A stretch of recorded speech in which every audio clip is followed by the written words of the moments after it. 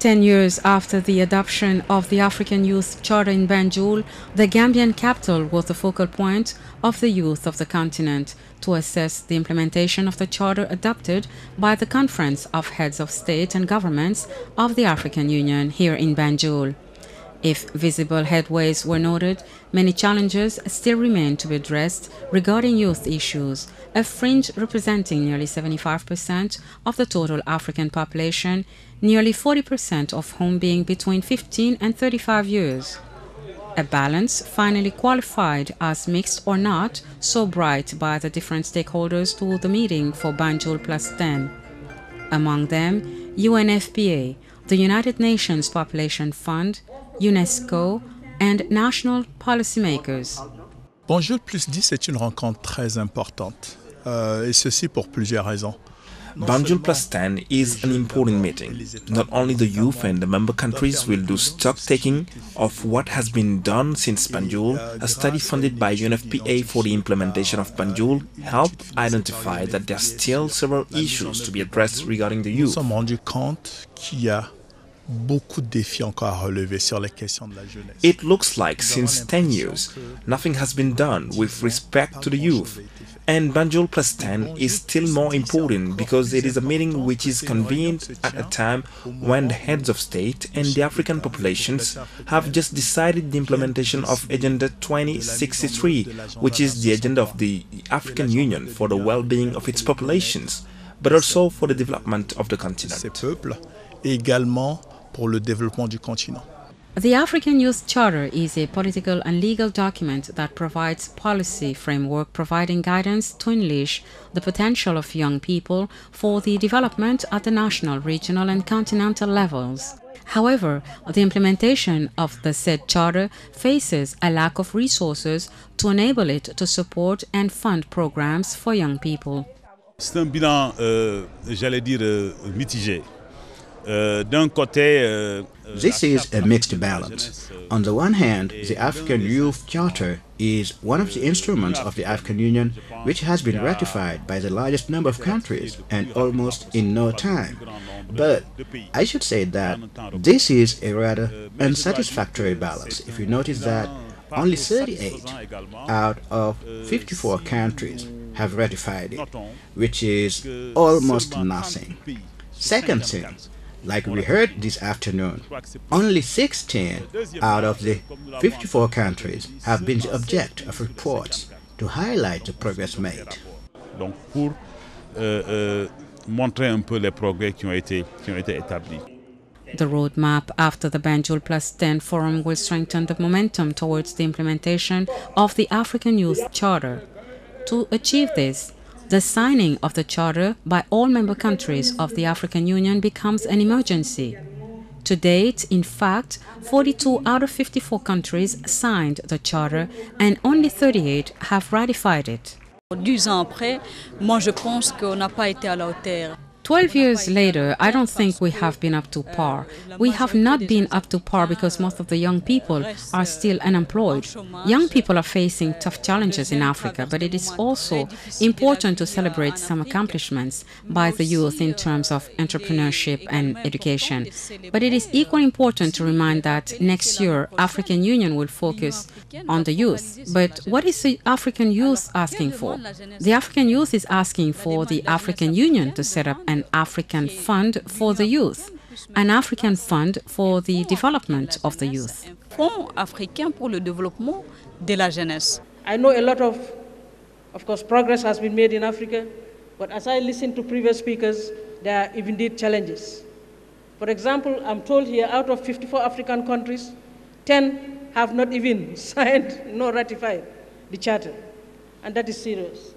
And I think I've been given a message which be communicated to His Excellency the President, Sheikh Professor Al-Haji Dr. Yahya Jammeh, and through him, of course, his colleagues, the African colleagues, that perhaps during the next summit, they should raise it as an issue, as an agenda issue.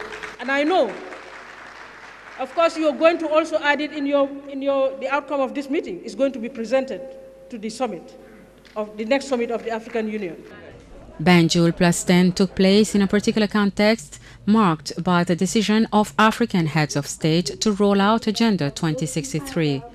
This agenda is set by the African Union and its aim is to strengthen the construction and development of the continent through the empowerment of youth and women.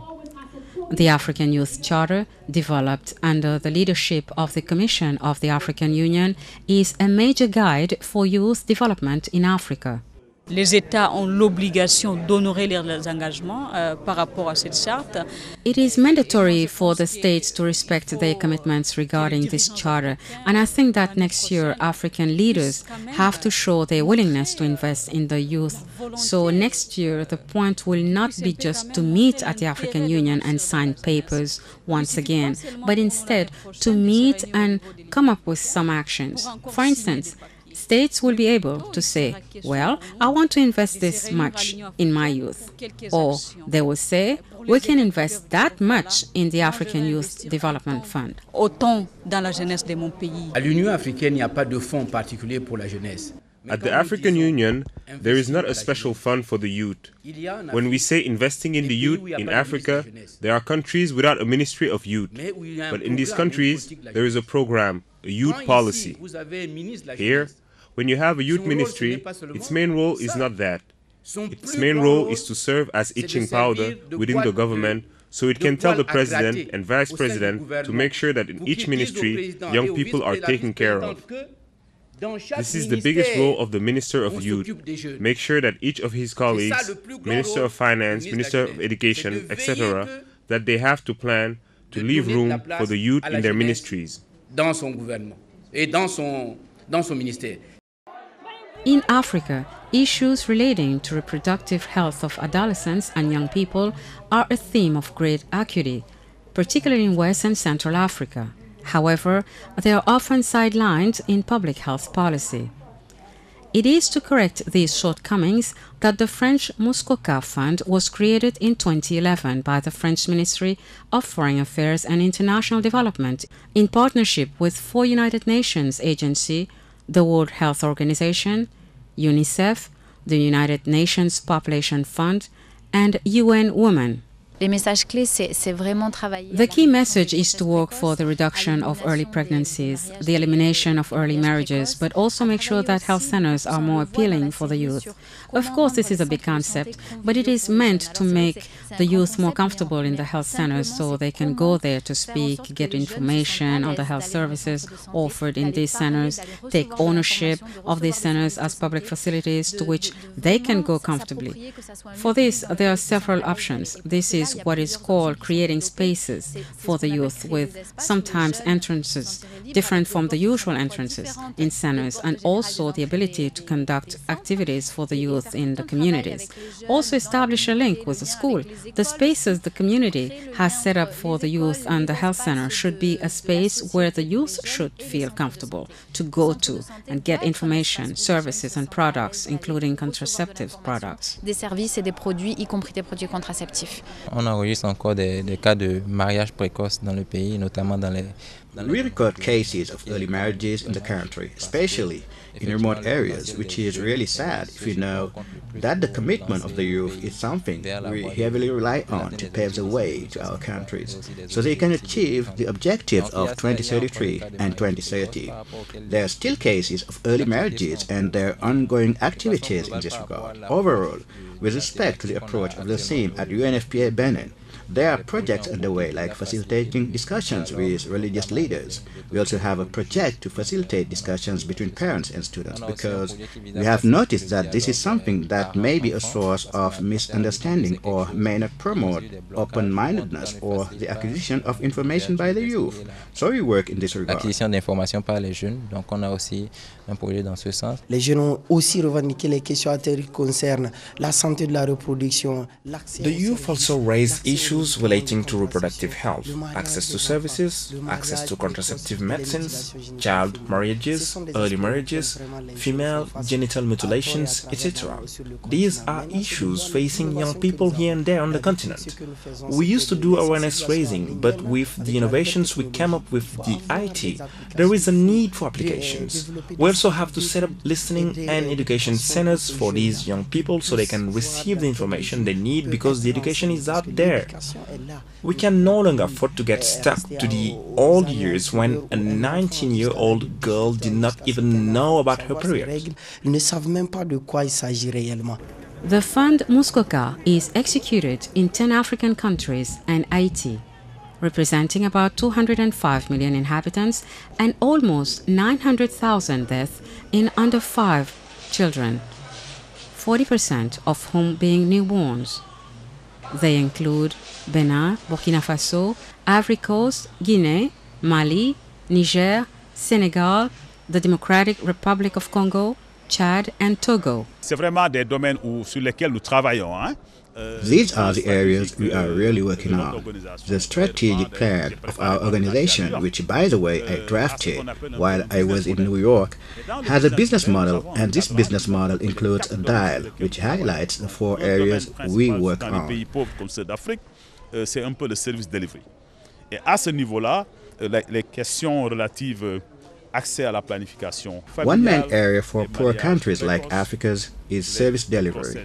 And at this level, access to FP services, early marriages, early pregnancies, HIV-AIDS related issues and interventions in areas in which the physical capacities are not that important.